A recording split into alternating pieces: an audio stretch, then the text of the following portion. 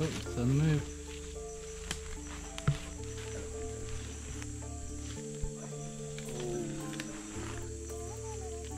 Okay, can you Okay. prop up the bag with that little stick? Yeah, yeah, yeah. Make it propped Oh, up. Fuck. It. Check it at biting. Dude, Back up, back up. Okay. Okay, the stick. Just any stick? This is where you just need patience. Bite, bite, bite. It's tiring out as well. That's what it's all Thing about, with folks. snakes there. Barefoot, barefoot coral snake ah, catch. Yeah. Yes, dude. Don't do this at home. Look at that blue. Oh, you gorgeous thing. No, it's not. It's in the bag. Yeah.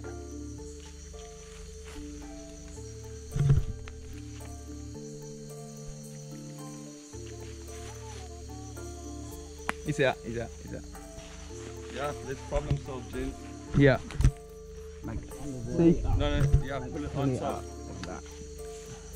Just calming down. Make the bag deep, so like there's a void in there. That's it. Nicely done, brother. Let's see if she's gonna accept the structure we've built for her. Yeah. Bite, bite, bite.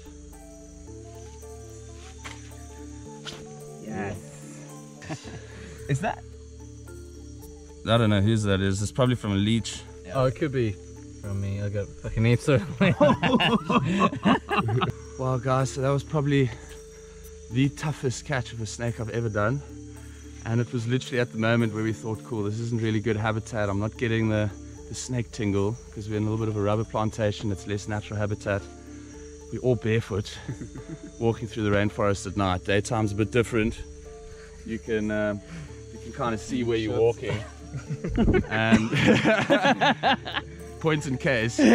And um, yeah, we're walking back home after we decided, okay, let's head back to the river. Spotted the snake just on the path. Um, so, yeah, hike with shoes on, dude. Hike with shoes What on. What snake is it? It's a Malayan coral snake. I need to check the scientific name, but it's got bright red head, red underbelly, blue on the back, and then a red tail. And uh, yeah, Jesus, I'm ready to go to bed now. I've got a headache.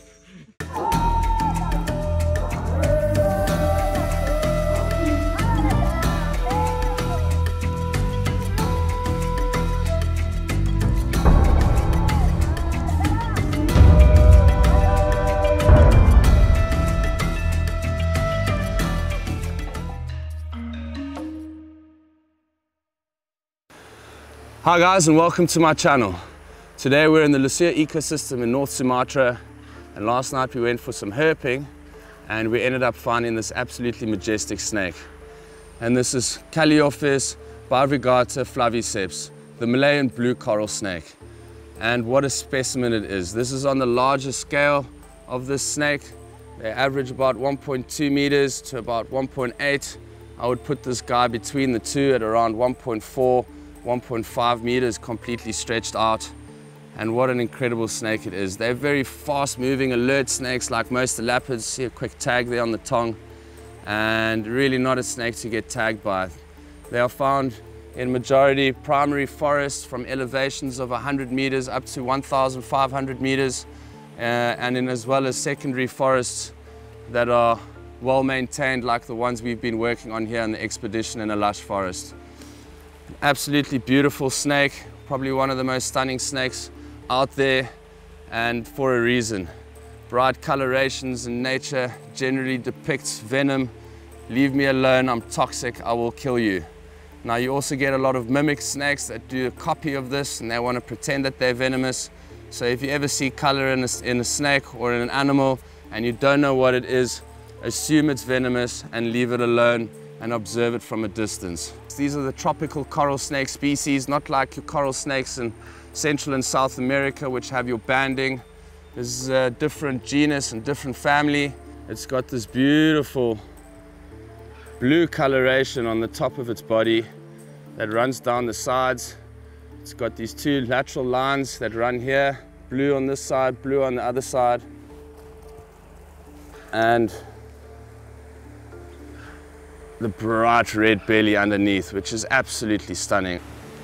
So, the Malayan blue coral snake possesses an extremely deadly venom.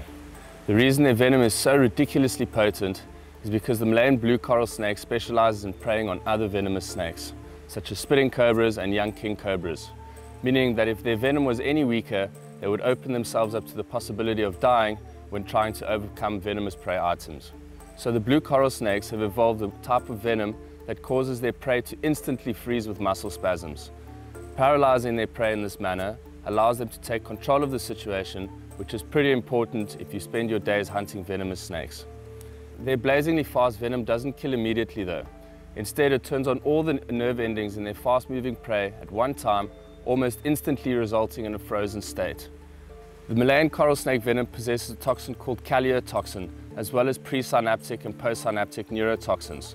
Calliotoxins work by attacking the prey sodium channels, the pathways that turn the nerves on and off. So the snake venom calliotoxin turns these channels on and keeps them on, causing paralysis to take over the body by frying the nervous system. This is the first time a snake has shown to use this strategy, which is more similar to the venom of cone snails and scorpions. There's no anti-venom for this snake, so getting bitten by a snake like this, you're in big, big trouble. And where they occur, which is in primary and secondary forests, you're generally far away from medical help. They call this the 100, 100 pace snake. Getting bitten by a snake like this, you take a couple steps, 100 steps or so, and you can fall over from the paralysis and then you won't have any help. Jamie, one of the crew members at a lush forest expedition, found this guy last night just cruising off the path.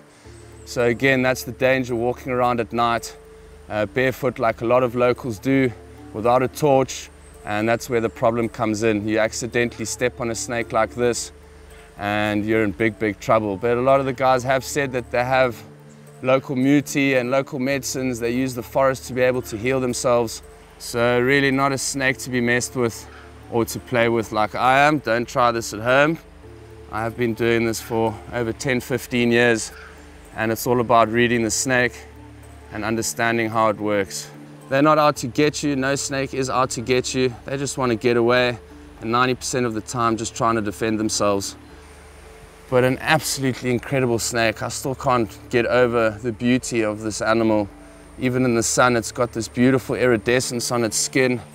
Uh, iridescence is when light refracts off the skin and gives off other sorts of colors that are usually invisible to the human eye. And wow, just unbelievable. You can see how she's calming down a little bit and it's a real privilege to be able to work with a snake like this. Very, very uncommon to see.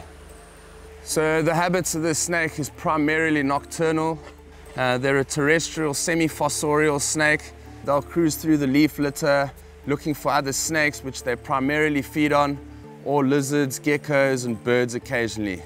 They're fossorial. Fossorial means living slightly underground, so these guys will cruise through the leaf litter at a very slow pace, using that tongue which picks up particles in the air. They pull it back into their mouth, which touches into the Jacobson's organ, which is an organ that detects particles. And these guys, like we hear in stereo, they smell in stereo. That's why they got a forked tongue. So they smell, pick up the particles are stronger on the left than the right, and they'll go more left and they'll go more right, and eventually hone down on their prey. They've got one of the longest venom glands in the, in the snake kingdom, up to one third of their body length. So on that note, guys, we have the blue Malayan coral snake. Absolute privilege to be able to see this snake here in the wild. And I hope you guys liked this video. If you liked this video, please do hit the subscribe button, hit that notifications bell, and remember to stand for what we stand on.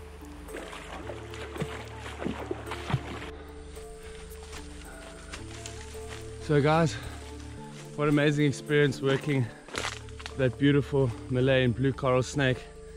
But we're heading off to our guide's village. So I'm going to release the snake here back in the undergrowth back to where she came from. There she goes.